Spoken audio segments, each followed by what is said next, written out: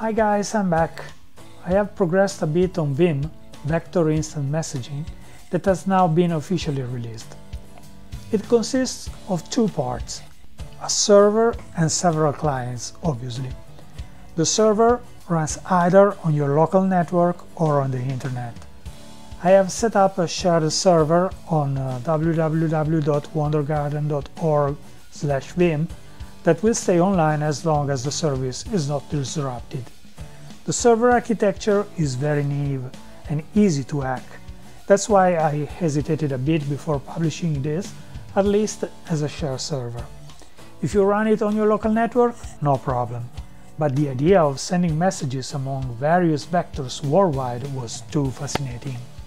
The client runs on Vector? No, it runs on Wirepod, User controls Vector via voice commands to sign up, log in and send chat messages. A server on Wirepod listens for incoming messages. Well, listens, it uses polling to read messages from the chat server. This is the main reason I don't like it, but it is easy to set up and run. To actually run a real server that listens on a TCP port to interact with a shared chat server on the internet You'd need at minimum to set up port forwarding on your router and well, I don't have one. I use a mobile hotspot to go on the internet all the time, so it gets complicated for me.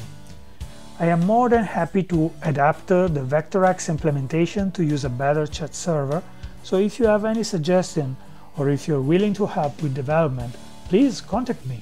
In this video, I'm going to demonstrate how the whole thing works. To keep it short, my vector is already registered and logged in to the shared chat server on wondergarden.org as Tom. On the same server, I have also registered two human users, Filippo, me, and Andrea, my brother. Now I'll tell Vector to chat with Filippo. Hey Vector, chat with Filippo.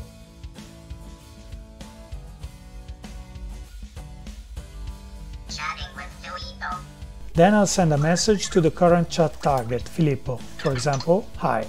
Hey Vector, say hi.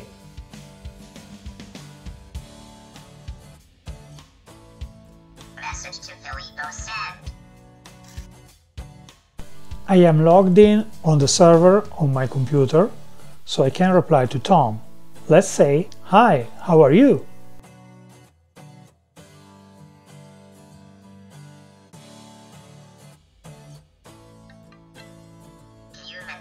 Says, Hi, how are you? I can also send Vector an emoticon.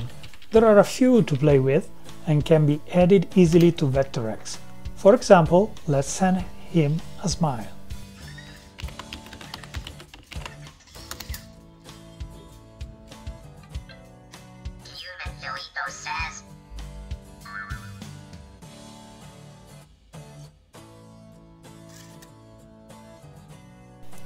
Or let's send a sad face.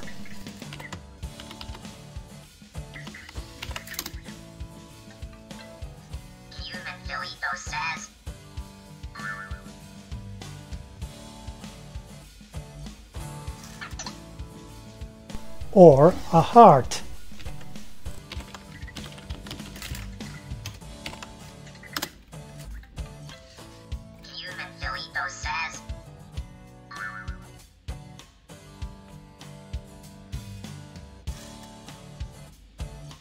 Hey Vector, say bye-bye.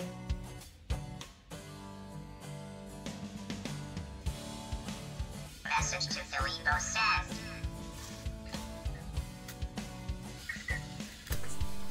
And that's it. The next step may be adding data messages so that vectors can exchange a useful payload. In the description you will find all the links to VectorX and Vim server. All source code is on GitHub and is free for you to use. Bye and have fun with VectorX!